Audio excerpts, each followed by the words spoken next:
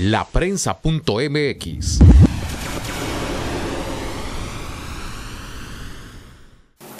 Estimados representantes de los diversos medios de comunicación de, Reynosa y la región, a nombre del Servicio de Emisión Tributaria, su servidor eh, Noé Sáenz Solís, administrador local de Servicios al Contribuyente de Reynosa, les damos la más cordial bienvenida.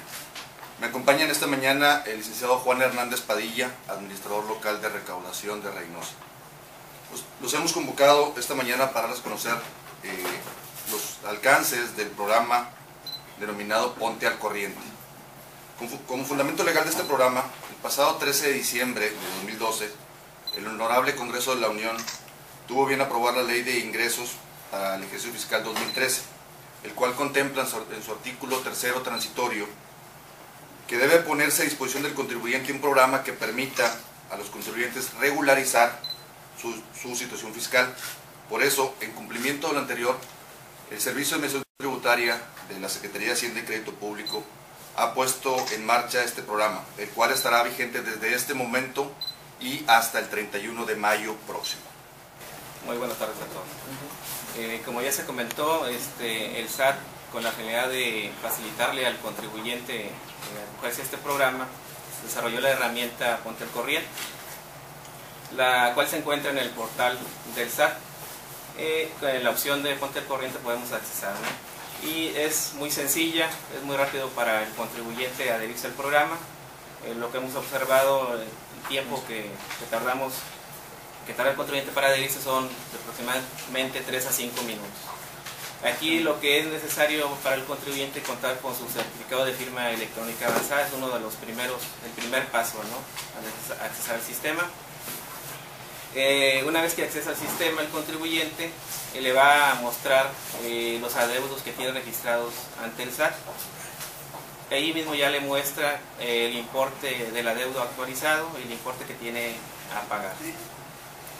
En el caso que el contribuyente tenga deudos que no tenga controlados la autoridad, él los puede este, desglosar en la misma herramienta, se puede autocorregir, señalando para este caso el tipo de contribución, el ejercicio fiscal, periodo y el importe acá.